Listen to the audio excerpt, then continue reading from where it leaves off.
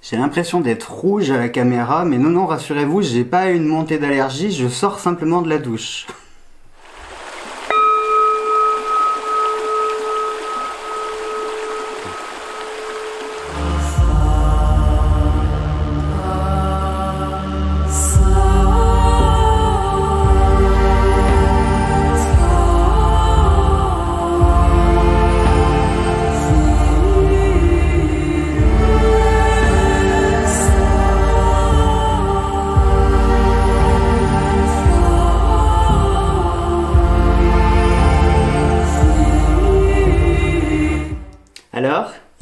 Nouveau générique, hein Allez, bonjour à tous mes chers amis et merci de me retrouver dans cette nouvelle première vidéo officielle, j'ai envie de dire oui parce que j'en ai fait une mais vous avez vu l'état dans lequel j'étais, franchement, euh, on peut pas vraiment dire que c'était euh, une vidéo officielle.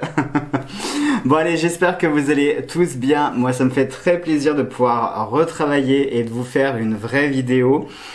Sauf que je ne sais pas si euh, je vais arriver à la poster dans les temps, j'en sais rien, j'espère en tout cas les amis, parce que euh, écoutez bien le délire, je pense que Orange, euh, ça va mal finir. Et là, vous dites, oh non, pas encore, il a pas encore une tuile. Ben si, si, j'ai encore une tuile, puisque euh, ce matin, je reçois un message de Orange qui me dit, oui, pardonnez pour la gêne occasionnée, mais nous rencontrons actuellement des problèmes sur nos réseaux, nos lignes, etc. Nous travaillons actuellement à régler ces problèmes d'ici le 3 novembre. Voilà.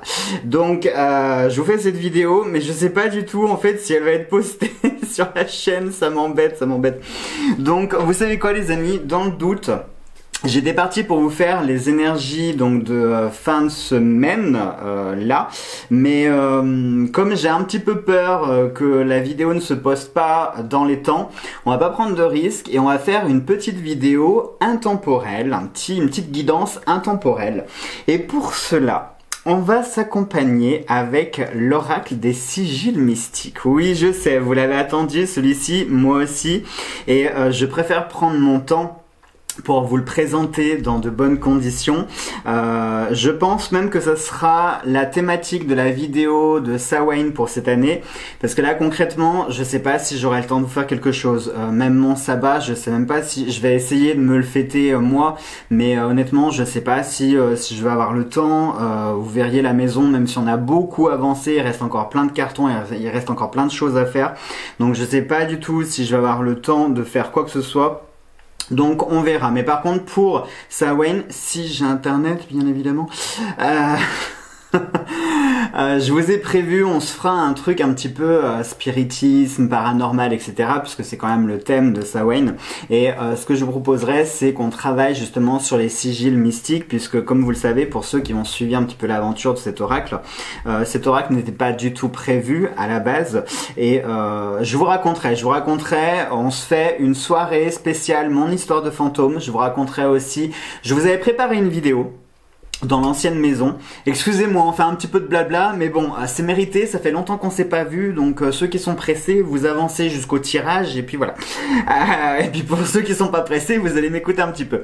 Je vous avais préparé une vidéo où je vous expliquais un petit peu tout ce qu'on a vécu dans la maison, sauf qu'entre temps, comme il s'est greffé des choses, hein, dernièrement, oui, jusqu'à la fin, jusqu'à la fin, les amis, je vous jure, jusqu'à la dernière minute, le dernier voyage, hein, quand, le dimanche soir, quand on a fait le gros du déménagement, le dernier voyage, franchement, et puis on l'a senti tous les trois, hein, qu'il fallait partir, mais tout de suite. Vraiment, c'est-à-dire qu'on ne se sentait absolument plus en sécurité dans la maison. On a eu un carton qui a volé, mais quand je vous dis il a volé, c'est pas juste il est tombé par terre. Non, le carton, il s'est vite. voilà. Euh, il y a eu ça, il y a eu une présence qui était très forte dans les escaliers, il y a eu un froid glacial qui est tombé dans la maison. Alors pourtant elle est chauffée, hein, la maison, il y avait des chauffages, hein. euh, mais il y a eu un froid glacial qui est arrivé d'un coup. Ah non, tout de suite, on se les dit tous les trois, même Cédric, il l'a senti. Pourtant Cédric, il est moins réceptif que euh, maman et moi. Même lui, on se sentait plus en sécurité. Donc pour vous dire, jusqu'à la fin, jusqu'à la fin, la maison, elle nous a fait voilà. Euh, donc ce qu'on fera pour la nuit du 31 octobre, on se fera, c'est un dimanche, c'est, je crois que cette année. Donc on se fera un petit, euh, on se fera une vidéo spéciale. On se fera les énergies du mois de novembre. On fera un tirage, on fera un truc spiritisme. Je vous raconterai mon histoire de fantôme dans la maison. On travaillera, je vous expliquerai toute l'histoire sur cet oracle là. Et, euh, et puis voilà, ça devrait être pas mal. Hein. Faut juste croiser les doigts que j'ai internet. Bref, on va pas revenir sur le sujet parce que sinon ça va m'agacer. Allez, euh, ce que je propose de faire, donc on va utiliser, tiens, on va utiliser les photos karmiques. On va utiliser les photos karmiques, ça sera bien. On va utiliser donc les sigils mystiques. Euh, Qu'est-ce qu'on se fait euh, J'ai bien envie, comme c'est Halloween. D'ailleurs, euh, Halloween, oui, vous savez que j'aime pas, j'aime pas le terme Halloween, mais parce que vous voyez, je suis dégoûté. Je vous avais préparé des oracles spéciales sombres, comme on était dans les énergies de Sawain. je voulais vous faire une batterie de vidéos, mais comme comme Sawain, c'est là, c'est dimanche prochain. Et ben tous les tous les projets en fait sont tombés à l'eau, quoi. Enfin, et puis avec ces problèmes d'internet aussi qui me saoule véritablement. Bref, je crois que cette année, c'est pas l'année de façon. Hein. Je vous l'avais dit, rappelez-vous, rappelez-vous pour ceux qui me suivent, je vous l'ai dit en 2020, je vous ai dit, vous verrez, 2021 sera pire que 2020. Et là, il y avait plein de personnes qui m'avaient dit, mais non, Jojo, t'es pessimiste, tu vois pas tout en noir. Mais non, ben voilà, c'est là. Je vous l'avais dit, 2021 serait pire que 2020. Et d'ailleurs, par rapport au ressenti que j'ai pour 2022, moi, je vais vous dire ce que je ressens. 2020, comme on est dans la pandémie, ça parlera à tout le monde. 2020, c'était l'année de l'incubation. 2021, c'était l'année vraiment euh, quand on est bien malade, hein, quand la grippe, elle s'est bien installée, qu'on a 42 fièvres. Et 2022, ce sera la période de convalescence, c'est-à-dire que ça devrait aller un petit peu mieux. Et je sais pas pourquoi on n'arrête pas de me faire voir été, été 2022. Je sais pas, juillet, août, euh, voilà, été, été 2022. Écoutez bien ce que je vous dis. Vous verrez, peut-être que le début d'année 2022 sera pas terrible, mais à partir de l'été 2022, les choses devraient commencer un petit peu à on devrait un petit peu pouvoir souffler, hein, peut-être parce que l'autre ne sera pas réélu. Croisons les doigts. Euh... Allez, euh, j'arrête mes bêtises et on va y aller. Donc, euh, comme je vous l'ai dit, ce sera une guidance plutôt intemporelle puisque bah, je voulais vous faire euh, les énergies de fin de semaine mais comme je vous l'ai dit hein, j'ai peur que la vidéo ne sorte pas dans les temps donc je préfère pas prendre de risques alors ce que je vous propose de faire c'est de penser vraiment très fort à une problématique que vous vivez, que vous traversez à l'heure actuelle. Peu importe le domaine, ça peut être euh, amoureux, professionnel, euh, tout ce que vous voulez, peu importe vraiment, mais songez tout simplement à votre domaine, essayez de, euh, voilà, si vous êtes perdu, si vous avez besoin d'une réponse, si vous avez besoin qu'on vous aiguille, si vous avez besoin que le ciel vous envoie un message, j'espère de tout cœur que je serai le messager qui vous donnera ce message-là. voilà, j'espère vraiment de tout cœur. Ne vous concentrez pas forcément sur quelque chose de très précis, mais plutôt du, du général vous voyez ce que je veux dire. Non, vous voyez pas. Bon, je vais vous expliquer ça. Imaginons, euh, je sais pas moi, vous arrêtez pas, je vous ai dit le domaine amoureux, du coup tout de suite vous pensez à Martine ou David, voilà. Euh, mais non, pensez pas ni à Martine ni à David, mais pensez plutôt au domaine amoureux, au domaine sentimental en général, d'accord? Parce que quand on se focalise trop sur quelque chose, eh ben ça a tendance à nous mettre des œillères qui font qu'on ne va pas avoir des informations qui étaient importantes sur les côtés, d'accord? Donc focalisez-vous non pas sur une personne en particulier, mais plutôt sur le domaine en général. Ok? Allez, ce que je vous propose de faire, on va déjà prendre un euh, chakra. On va faire un chakra et ça sera déjà notre base de travail. Allez, on y va. Ça fait plaisir de retravailler. Si vous saviez, les amis, mais si vous saviez en plus là, mais attendez, je vais juste prendre 30 secondes pour vous l'expliquer. Je suis, mais alors super bien dans cette maison. Je vous promets, je, je, je réalise encore pas en fait. J'ai l'impression d'être en vacances. Je sais pas comment vous dire. J'ai l'impression qu'on a pris un logement avec Cédric et qu'on est en vacances là pour une semaine, deux semaines, parce que c'est tellement paradisiaque ici, le calme, le silence. Oh, les amis, je, vous jure, moi j'en pouvais plus là-bas entre les gamins à 8h, à midi, à 16h et compagnie, les motos, les voitures, les... j'en pouvais vraiment plus. Euh, là, il y a pas un seul bruit. C'est-à-dire, il n'y a même pas d'oiseaux en fait. C'est même flippant en fait. mais rien que ce silence, c'est juste, mais euh, c'est euh, vraiment du bonheur. Vous levez le matin, vous ouvrez votre fenêtre, vous avez la nature qui donne, qui donne et qui domine de partout. Là aussi, c'est juste du bonheur.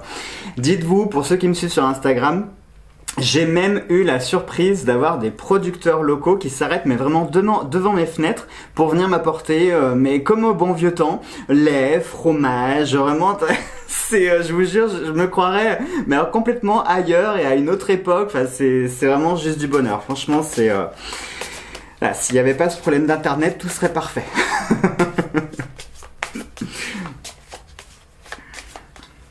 Allez, notre chakra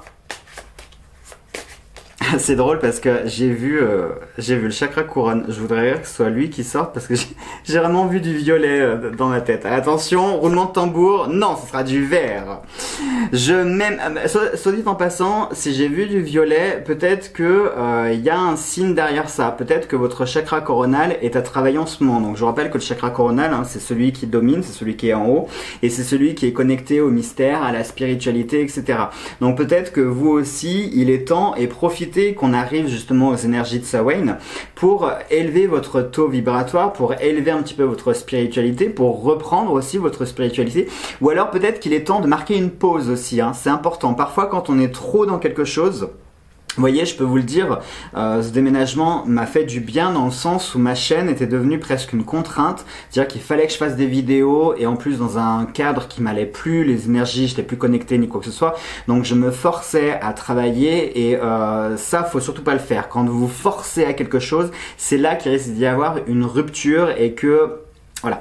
Donc parfois, il faut savoir marquer une pause, c'est important, ok? Alors, euh, donc c'est le chakra du cœur qui nous dit je m'aime et j'aime, je m'aime, j'ai beaucoup d'estime pour moi, je me respecte, je reçois et je donne de l'amour.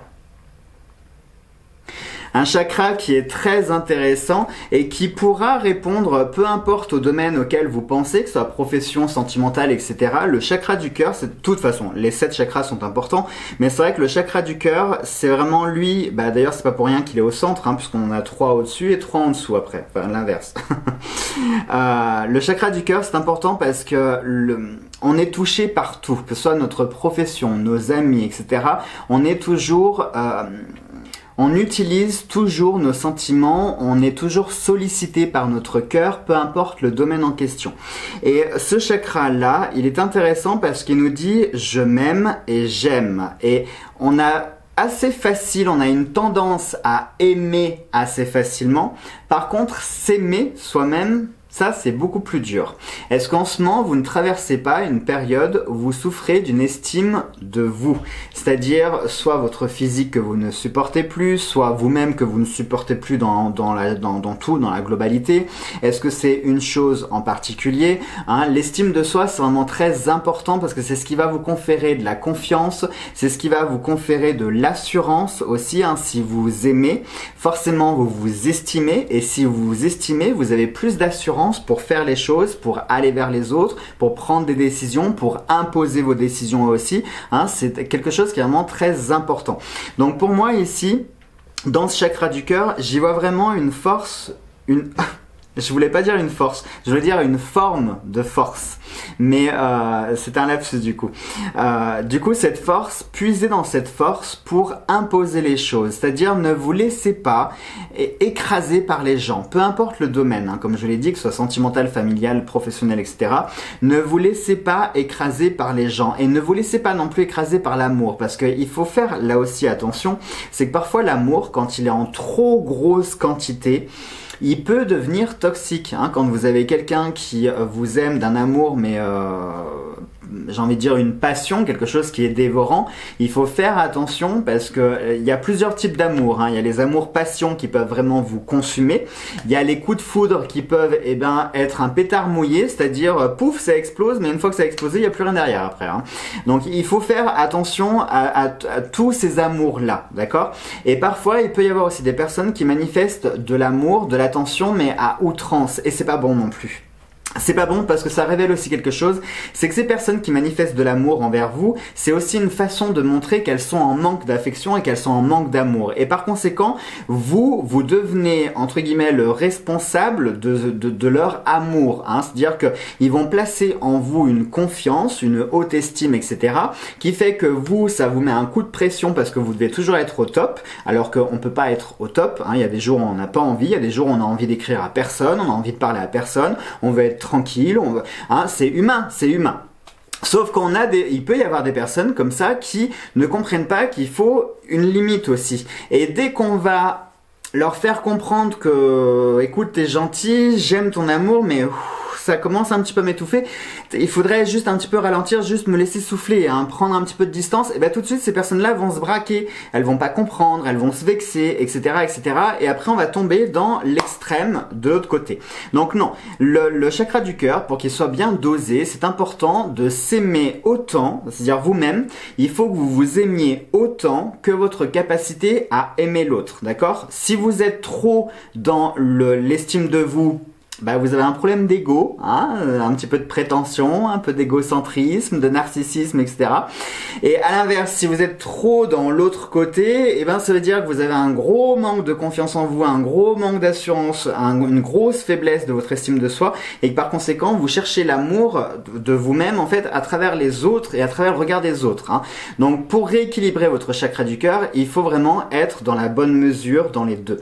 Et ça, ça s'applique vraiment dans tous les domaines, que ce soit travail, que ce soit famille, etc. Il faut tout le temps doser être au milieu. Ok? Allez, on va venir compléter avec... Euh, avec nos photos karmiques, on va s'en prendre deux, histoire de compléter ça.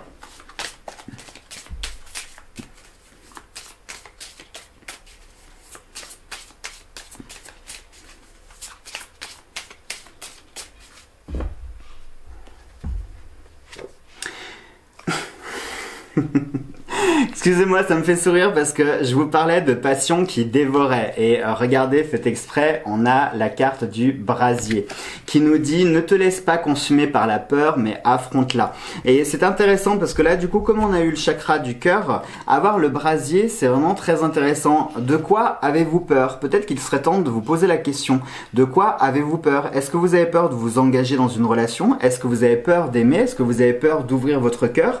Alors, ça peut se comprendre. Est-ce que vous avez peur d'être déçu de nouveau, euh, ce qui peut se comprendre hein, quand on est déçu, trahi et compagnie, bah, il y a un moment où notre cœur, on finit par le fermer et on devient plus ou moins hermétique aux émotions, aux sentiments. On a l'impression d'avoir un cœur de glace, mais non, en fait, c'est qu'on se protège, mais on se protège tellement dans l'extrême que sans s'en rendre compte, on est vraiment nous-mêmes tombés dans un cercle vicieux qui fait que plus on se protège, moins on reçoit d'amour, moins on reçoit d'amour, plus on se protège, vous voyez, et puis après ça fait un cercle dans lequel on sort plus.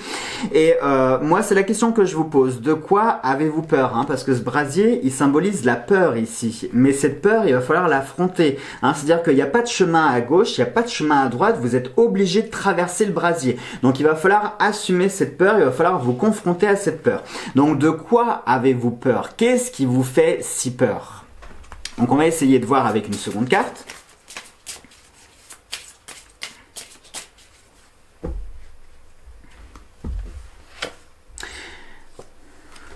Parfait. Regardez la carte qu'on a eue. C'est la carte la plus positive du jeu, à savoir le pentacle. Le pouvoir d'être heureux est en toi, alors invoque-le. Autrement dit, regardez un petit peu les amis, là on a un super beau tirage, une belle synthèse. Le brasier nous dit de quoi as-tu peur? Qu'est-ce qui te fait peur? Il est temps que tu affrontes les choses. Cesse de fuir et affronte la réalité. Affronte ton patron. Peut-être que ton patron te fait peur. Tu n'oses pas aller le voir. Tu n'oses pas réclamer cette promotion. Tu n'oses pas lui dire que tu es fatigué, que tu en as marre de faire 70 heures par semaine et qu'il est temps d'embaucher quelqu'un. Tu en as marre d'être pris euh, pour un couillon. Tu en as marre que ta famille profite de toi. Tu en as marre de ceci. De... Vous voyez ce que je veux dire? Peu importe, mais ce qu'il vous fait peur, il est temps de l'affronter ici. Et en plus, le fait de faire ça, c'est ça qui va vous permettre d'être heureux. C'est-à-dire, dans le chakra du cœur, je vous l'ai dit, c'est à deux courants, c'est-à-dire je m'aime et j'aime aussi.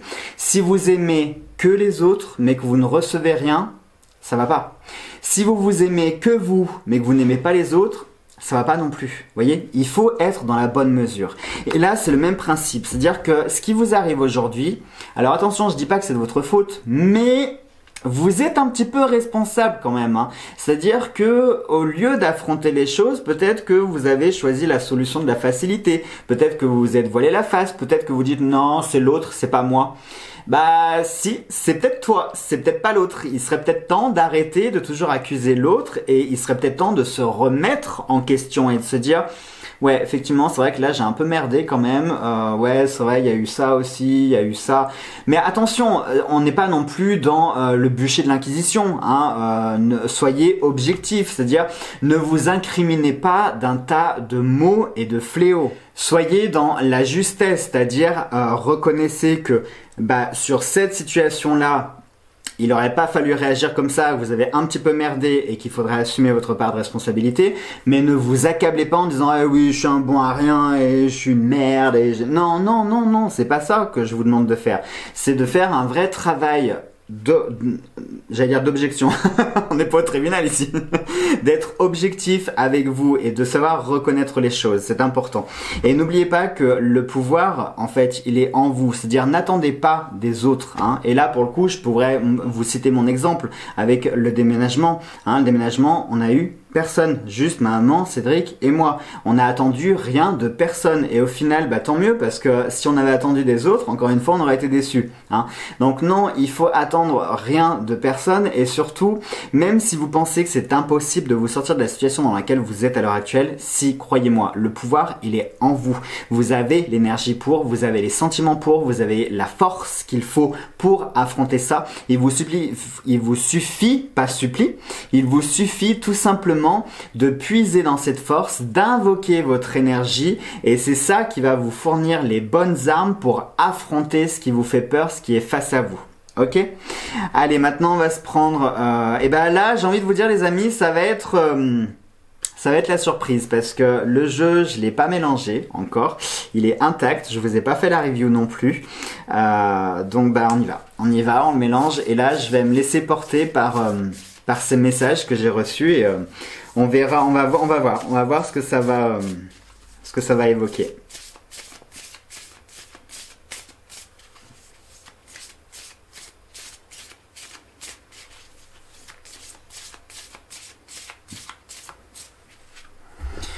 Ça fait bizarre de mélanger ce jeu. Allez, on va en prendre. Euh, j'ai envie d'en prendre deux aussi, tiens. Allez, on va en prendre deux. Nous avons tromperie, trahison, paranormal, spiritisme. Alors tromperie et trahison quand même c'est assez équivoque. Euh, puisque bah, je vous l'ai dit, hein, avec le chakra du cœur, je m'aime et j'aime. Et je venais de vous le dire, quand on est trahi, quand on est trompé, etc., on a du mal à aimer, on a du mal à faire confiance. Et peut-être que vous, à l'heure actuelle, vous êtes vous aussi dans cette situation de ne plus avoir confiance. Et comme je l'ai dit, peu importe votre euh, votre domaine, hein, celui auquel vous pensez, que ce soit la profession, etc., c'est valable pour tout. Hein. On peut être pris. Euh, pour un couillon par des patrons, ce qui fait qu'à force on n'a plus confiance dans les patrons. On peut être pris par un couillon euh, par la famille, etc., etc. Voyez. Donc ici on parle de tromperie de trahison. Est-ce que c'est à venir? Peut-être aussi. Peut-être, peut-être. Donc ça peut être une forme de vigilance, hein, parce que je vous rappelle le brasier. Le brasier est certes devant vous, mais ça ne veut pas dire qu'il faut foncer tête baissée. Hein. Il va peut-être falloir euh, s'armer, il va peut-être falloir s'équiper pour pouvoir affronter ces flammes. Hein. Revêtir une tenue qui va vous protéger de la chaleur et du feu, euh, une grande lance avec euh, de l'eau en pression pour pouvoir vous frayer un chemin. Vous voyez ce que je veux dire? Donc attention, ici, tromperie et trahison, peut-être que vous êtes à l'heure actuelle en train de vous faire manipuler, peut-être que vous êtes en train de vous faire tromper, peut-être que vous allez vivre une trahison, mais cette carte sort, c'est peut-être aussi pour vous avertir de ce danger-là et peut-être pour vous faire ouvrir les yeux hein, avant justement que ça se produise. Parce que sachez une chose, les amis, ça c'est vrai que euh, je, je pense pas forcément à vous le dire. Mais quand vous sortez des messages dans les cartes, c'est pas parce que vous recevez le message que ça va se produire. Non. Parfois, c'est pour mettre en évidence quelque chose qui pourrait, donc là j'emploie le conditionnel, c'est-à-dire que si vous restez là à l'heure actuelle ainsi, ça va peut-être se produire. Hein. Imaginons, moi, je sais pas, vous êtes marié depuis, euh, allez, vous êtes marié depuis 30 ans avec quelqu'un, et ça fait euh, 3 ans que vous n'avez plus de rapport intime avec cette personne bah vous allez pas venir vous plaindre le jour où vous allez apprendre qu'il ou elle vous a fait cocu parce que euh, si votre compagnon ou compagne a des besoins, des besoins que vous ne lui donnez plus, ben euh, c'est un petit peu normal, j'ai envie de dire. Vous voyez ce que je veux dire Attention, ça veut pas dire que je cautionne, mais je peux comprendre que la personne, on est tous des êtres humains, on a tous des besoins, on a aussi besoin d'amour, de câlin, de tendresse, etc., etc. Et ce qu'on ne trouve pas chez l'un, bah au bout d'un moment, on va chercher ailleurs. Vous voyez ce que je veux dire? Donc, ce que vous avez en message dans les cartes ou sur n'importe quel support, ce n'est pas parce que ça sort que ça va se produire. C'est pour vous mettre en évidence une possibilité que si vous restez ainsi comme ceci, ça peut se produire, ok? Ensuite, on a le paranormal et le spiritisme. Alors, c'est quand même assez euh, marrant d'avoir cette carte qui est sortie, mais en même temps, j'ai envie de dire que ça paraît logique. Pourquoi c'est logique? Parce que regardez, je vous rappelle qu'on a eu le pentacle tout à l'heure qui nous aide d'invoquer. Le pouvoir d'être heureux est en nous et il faut l'invoquer.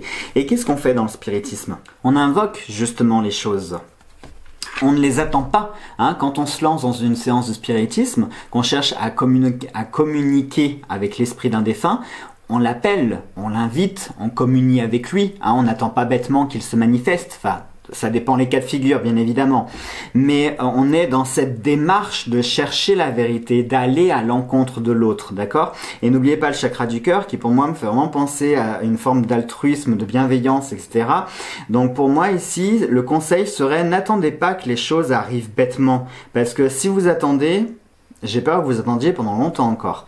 Non, si vous voulez que les choses changent, provoquez-les. Allez à leur rencontre. Invoquez-les. D'accord? N'attendez pas qu'elles viennent, mais allez les chercher. Hein C'est comme le travail. Concrètement, euh, si vous êtes à l'heure actuelle en recherche d'emploi, si vous restez dans votre canapé devant Netflix, euh, bah, c'est pas comme ça que le travail va arriver. Hein euh, pour trouver du travail, faut s'habiller, faut sortir, faut aller toquer aux portes, faut déposer des CV. Vous voyez, il y a une démarche de faire quelque chose.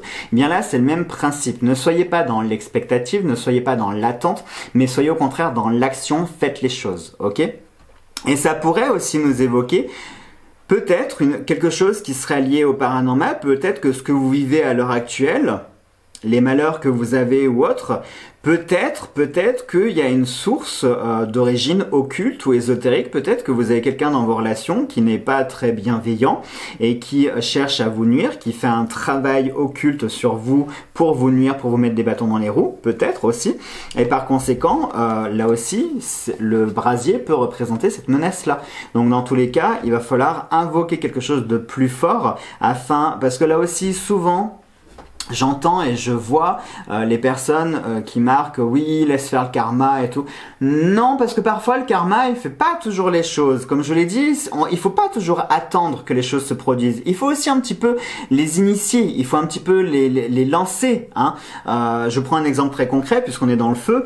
Parfois, quand on a, quand les pompiers ont affaire à de très gros brasiers qu'ils ne maîtrisent plus, eh bien, ils vont volontairement générer un autre brasier à l'opposé de celui qui avance pour que lorsque les deux se rencontrent, bah pouf, ça s'annule. Hein. Vous connaissez soigner le mal par mal, le feu par le feu.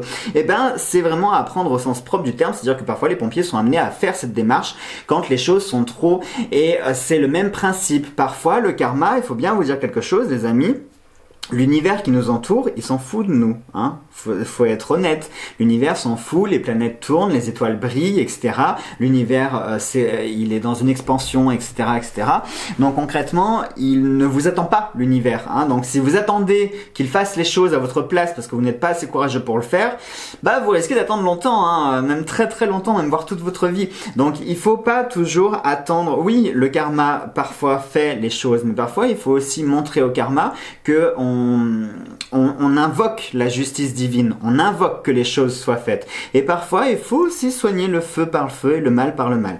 Donc si quelqu'un agit contre vous d'une façon ésotérique et occulte, bien j'ai envie de vous dire, alors c'est peut-être pas très catholique ce que je suis en train de vous conseiller, mais peut-être qu'il faut lui rendre l'appareil. Tout simplement. Parce que là aussi, combien de fois je lis sur les réseaux sociaux et autres, dans des groupes, qui disent comment est-ce qu'on fait pour annuler un maléfice et ceci et cela. Alors les amis, on va clôturer là-dessus. Sachez une chose, c'est que euh, la magie ne peut pas être éliminée. Hein. on n'est pas dans le charme. Il n'y a pas de contre-formule pour annuler un sort, etc. Non. Quand un travail magique a été fait sur vous, eh bien, votre seule option, c'est de composer avec les énergies qui sont là à l'heure actuelle. Prenez une boule de pâte à modeler, vous venez de l'acheter, elle est toute neuve, elle est lisse, elle est nickel. Vous allez un petit peu la malaxer, etc. Même si vous la remettez en forme de boule, elle ne sera plus jamais identique comme à son départ. La magie, c'est exactement pareil. Donc ça sert à rien de faire des contre-formules, etc., d'essayer d'annuler des choses qui ont été faites. Non. Vous ne pourrez pas. C'est pour ça après, euh, je vois ou parfois j'ai des gens qui me contactent en disant bah je comprends pas, ça a pas marché. Ben euh, ça a pas marché parce que ça marche pas, parce que ça fonctionne pas comme ça dans la vraie vie. Quand quelque chose est cassé, ben ça reviendra jamais neuf. Il va falloir constituer avec. Et vous avez deux options. Soit vous jetez votre tasse qui est cassée, soit vous essayez de la recoller. Mais vous ne pourrez jamais la refaire comme elle était à son départ, hein, sauf si vous la refondez et que vous la vous la resculptez, la remodelez, etc. Oui, elle redeviendra neuve, mais elle redeviendra neuve avec euh, ce qu'elle était. vous voyez ce que je veux dire, hein? Non, si, j'espère que vous voyez. Donc, Surtout les amis, c'est valable pour vous à l'heure actuelle. Si vous sentez que quelqu'un est en train de faire un travail occulte sur vous, eh bien, ne soyez pas bête encore une fois en disant oh c'est pas grave, je laisse couler ou euh, non, il faut savoir se défendre quand il y a un travail occulte, surtout là en magie. J'ai envie de dire euh, non. les personnes quand elles vous font du mal, euh, souvent, hein, je vais vous faire une vidéo sur ce sujet parce que je pense que ça peut vous intéresser. Et c'est important de le dire. Mais euh, quand je lis toutes ces bêtises de magie blanche et de magie noire, là aussi, il faut arrêter, il n'y a pas de magie blanche, il a pas de magie noire. Quand euh, vous avez un agresseur qui arrive vers vous et qui, euh, qui risque de vous tuer, le fait de vous défendre, c'est un acte de légitime défense. Donc on est plutôt dans quelque chose de bon, de bénéfique. La magie, c'est le même principe. Si vous utilisez de la magie pour vous défendre de quelqu'un qui fait tout pour vous nuire, même si, entre guillemets, d'autres pseudo-sorciers à la con euh, vont vous dire, oh là, ça c'est de la magie noire. Ouais, sur le principe, je suis d'accord. On pourrait dire que c'est de la magie noire. Mais en même temps, votre intention, c'est de vous protéger, de vous défendre, de rendre, de renvoyer ce qui vous a été envoyé ou ce qui touche votre foyer ou votre famille. Vous voyez ce que je veux dire? Donc, est-ce qu'on est vraiment dans la magie noire, sachant que la magie réagit uniquement aux intentions? Si votre intention est de vous protéger, de vous défendre et protéger votre foyer, on est vraiment dans la magie noire là? Je suis pas sûr, non. Au contraire, on est plutôt dans un acte de bienveillance, voyez Bien là, c'est le même principe. Et c'est valable pour tout aussi, les amis. Hein. C'est pas parce que vous allez vous défendre, c'est pas parce que vous allez dire non, c'est pas parce que vous allez envoyer euh, paître certaines personnes, etc., que vous allez devenir quelqu'un de méchant. Non, non. Quand il faut faire les choses, il faut savoir les faire et il faut les faire, tout simplement. Voilà donc, mes chers amis, pour cette vidéo qui, je l'espère, vous aura plu. Moi, je vous fais tout plein de gros bisous et on se retrouve très vite, enfin ça dépendra surtout d'internet, on se retrouve très vite dans de prochaines vidéos. Gros bisous à tous.